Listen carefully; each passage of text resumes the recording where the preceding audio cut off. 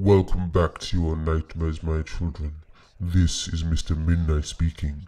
I welcome you all to my humble abode. Today, we will go back in time. The year is 1992, and it's Halloween.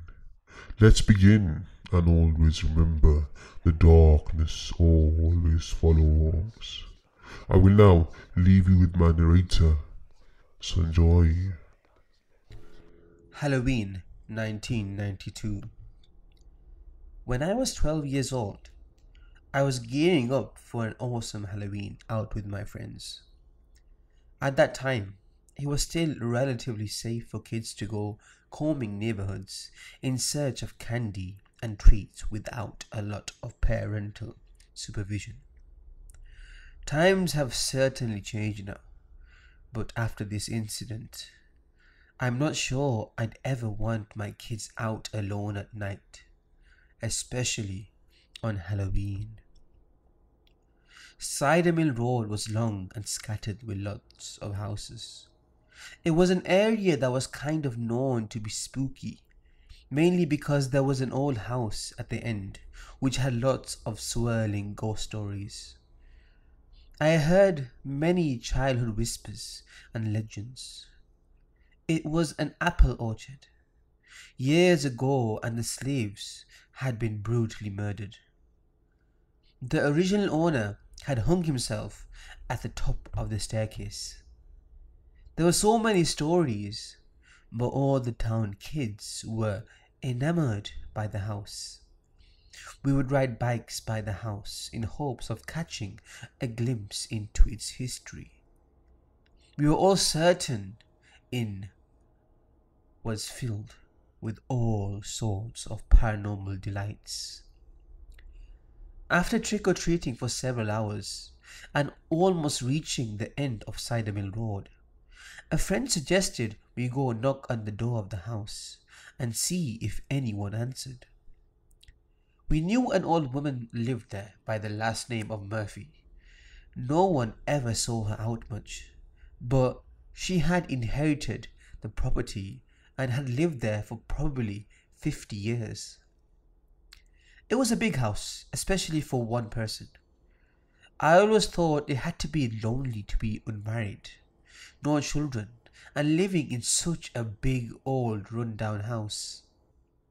My dad called it decayed gentry, although I had no idea what that meant. The driveway winded up through the orchard, which lay sprawling in front of the house. No one tended to the apples anymore, and so most of them lay rotting on the ground, which by October was more of a rotting stench than an apple fragrance. Hey, you go up and ring the bell, Jessica told me. I shrugged. I'm not going by myself. Take Olivia with you, she said. Olivia shook her head. I don't think so. It's getting late. I need to get home.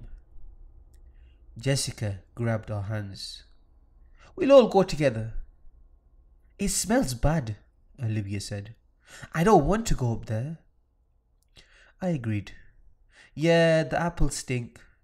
If an old woman lives here, she might already be in bed. She probably doesn't want trick or treaters. She doesn't even have a front porch light on, Olivia said. Universal sign for leave me alone? You guys are such chickens. Come on. It's Halloween.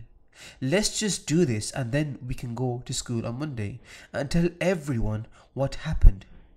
We'll be the coolest kids in class. Much to my dismay, we were being led further up the dark gravel driveway to the dilapidated mansion at the top of the hill. Olivia had some neon glow sticks, which was the only light we were able to see with because it was pitch black, and we didn't have any flashlights. It had been a fairly cloudy night, although it was almost a full moon. We had only had glimpses of moonlight the entire night. None of us thought ahead to bring any other light sources. When we reached the top of the hill where the house was positioned, I got a cold chill. I was shaking. I don't know if it was the temperature outside or the fact that I was frightened, but my teeth were slightly chattering. The three of us approached the house and climbed up onto the porch. Jessica pushed me forward. Ring the doorbell, she was whispering. I don't want to ring the bell, I said. She pushed me again. Just do it. I stepped forward. My eyes had begun to adjust to the darkness, and I could see the door in front of me with elaborate stained glass. Although my hand was shaking, I reached for the bell. I pressed it. Immediately, Jessica and Olivia start giggling and screaming.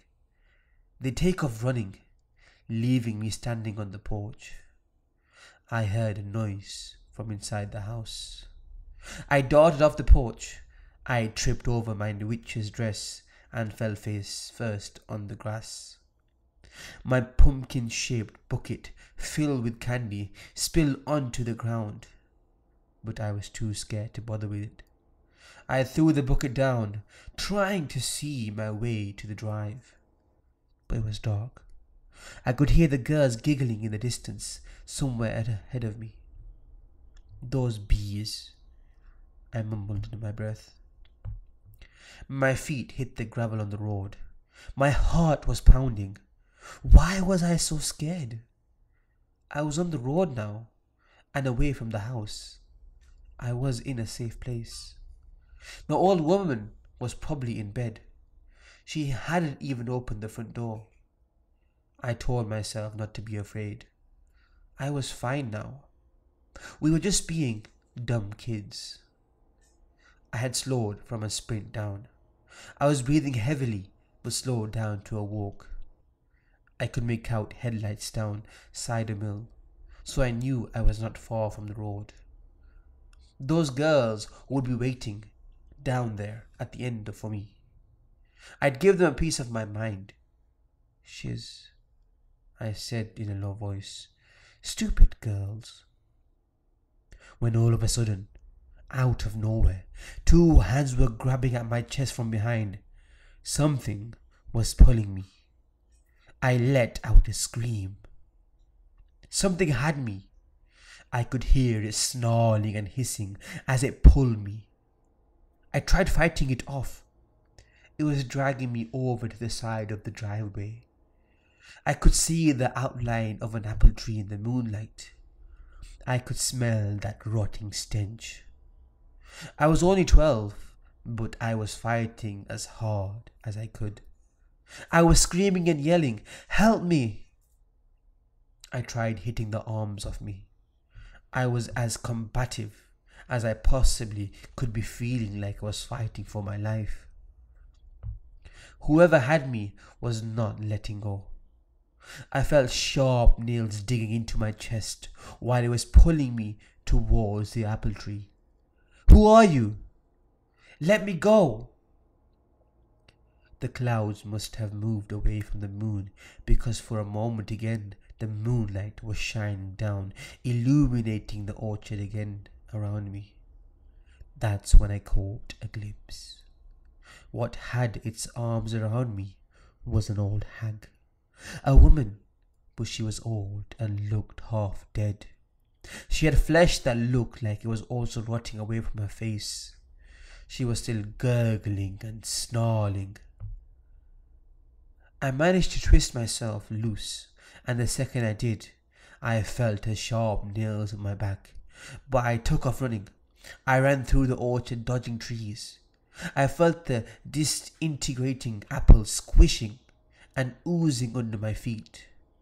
At one point, I slipped and fell into a pile of the mush. I finally made my way to the gravel and did not stop until I was at the main road. Of course, my a-hole friends were posted up waiting for me, but the minute they saw me bolting by, they did not laugh. I was in shock. Somehow we managed to get to a neighbor's house where the person called my parents to come pick me up. My friends explained what had happened and how they left me at the house. I had scratch marks on both my chest and back from the incident. My parents decided we needed to call the police and make a report. The cops thought it was probably just a Halloween prank, probably some teenagers trying to scare me. We ended up getting a huge lecture from the cop and our parents. The next day was a Sunday. I was still really terrified about what had happened and was adamant it was not just some teenage kids messing with us. I kept telling my parents over and over that it was something else. My mum finally told me it was enough and over with, and we didn't need to rehash it again.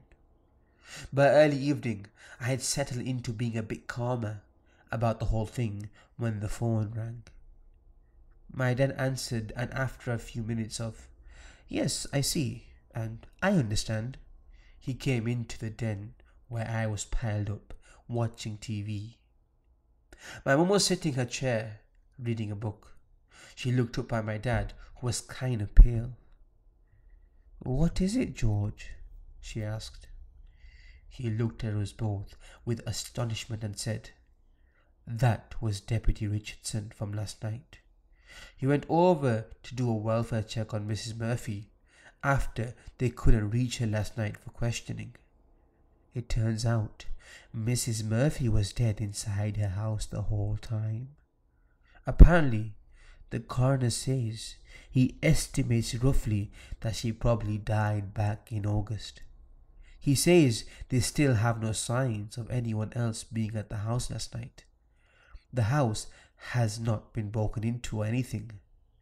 The only thing they found outside was your bucket of candy, which was all over the ground, just like you said. Honey, didn't you say it was an old woman who grabbed you? Mum asked, horrified. Well, my children, I thank you all for listening. I hope this story frightened you and got you in the mood for Halloween. I'll see you again very soon. So until then, love the darkness as it always follows.